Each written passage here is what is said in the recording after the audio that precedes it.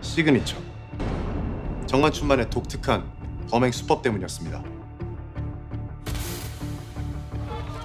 조커 살인 사건의 범인 정만춘에게 국민참여 재판을 열기로 결정했습니다. 강력범죄 유죄율은 국민참여재판이 일반 재판보다 높습니다. 그 말은 우리 판사들보다 배심원들이 강력범죄 피고인에게 더 엄격하다는 뜻이죠. 뭔가 이상해. 재판 끝나고 배심원 주소록 중 일부가 분실됐어.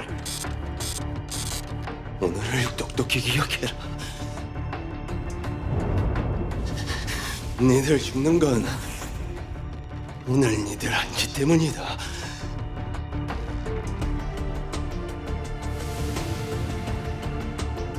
네가 그랬니?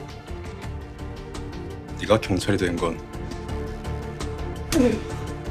다른 이유가 있어서가 아닐까?